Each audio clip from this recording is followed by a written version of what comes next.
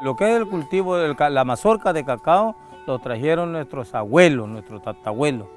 Comenzaron a sembrar mazorca, nos metimos en el cultivo de cacao, lo que tenía una hectárea, media hectárea, dos hectáreas, y por ahí fue creciendo la, el cultivo de cacao.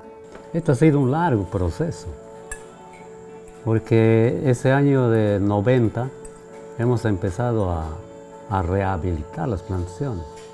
Esas plantas silvestres hemos empezado a bajar las, las copas y las ramas, al menos dándole forma. ¿no?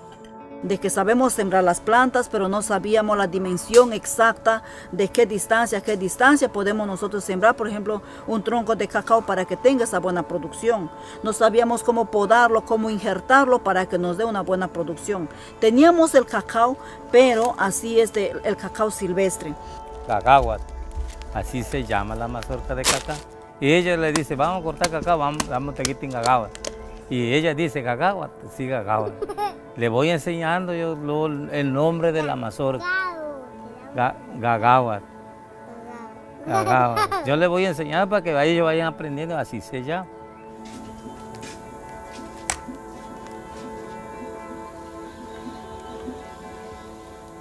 El cacao es originario de las partes bajas del bosque muy lluvioso tropical de la zona amazónica.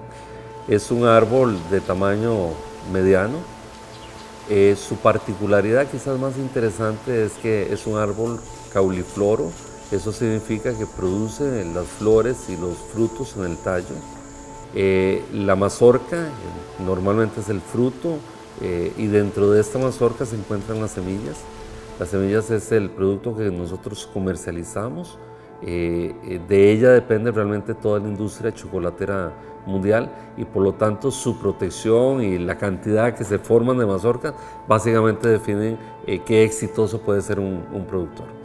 Porque esta planta necesita cuidado, necesita paciencia, necesita quererle de corazón para poder producir. Y ya sabemos realmente en qué condiciones de suelo, clima, cuánta radiación por año, eh, el cacao puede funcionar tanto, conocemos sus tasas de fotosíntesis, su metabolismo. Entonces, con ese patrón de demanda o potencial del cacao, con ese uno va a los diferentes sitios a analizar si esos requisitos, si las condiciones del sitio satisfacen esos requisitos. Y si no, pues cuáles son las prácticas de manejo que es necesario hacer para eh, acondicionar el sitio y de tal manera que la producción de cacao sea exitosa.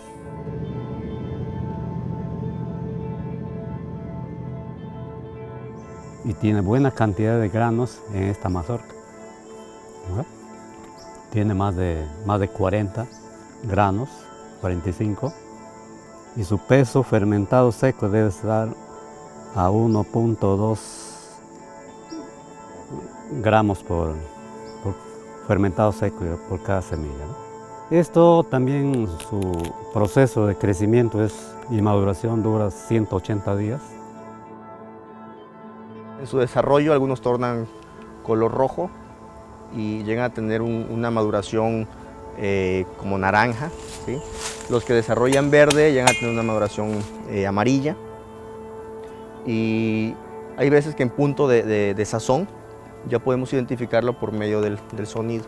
Le damos un, golpe y ya, podemos ver que el fruto ya tiene formada la, la semilla y ya hay una pulpa blanda dentro. Cuando está verde, el sonido es, es, como, como un sonido seco.